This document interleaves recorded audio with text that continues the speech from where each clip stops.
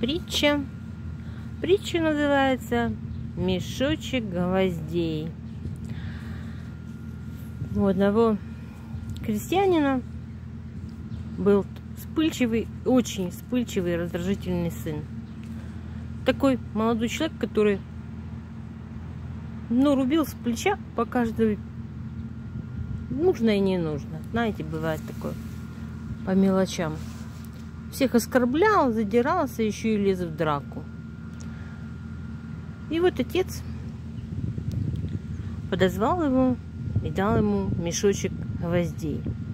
Потом дал ему молоток и сказал, сын, твоя неуливость и твой тяжелый характер создаст в твоей жизни очень много проблем. Тебе надо с этим бороться. И он сказал, что как только он вспылит, он должен один гвоздик вбить э, в забор. Такое бревно, большой столб забора.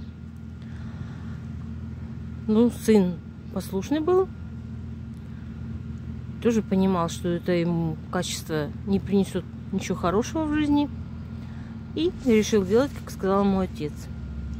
В первый день он вбил в, этот, это бревно забора несколько гвоздей. Но постепенно количество гвоздей стало уменьшаться.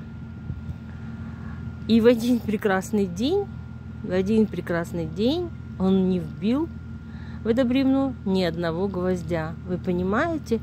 Он научился контролировать свои негативные эмоции. И он прибежал к своему отцу и сказал, отец, отец, вот чудо, это чудо, я могу контролировать свой гнев, я вот несколько дней я не вбил ни одного гвоздя. Отец взял его за руку, подвел к этому бревну, бревну было все, все, все, все в гвоздях, как ежик в иголках. Отец говорит, и вот дальше ты как только сможешь сдержаться от гнева, вытаскивая из этого бревна по гвоздю.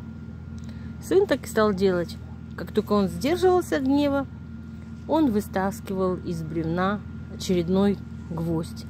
И наступил такой момент, когда бревно было совершенно чистое, и там не было ни одного гвоздя.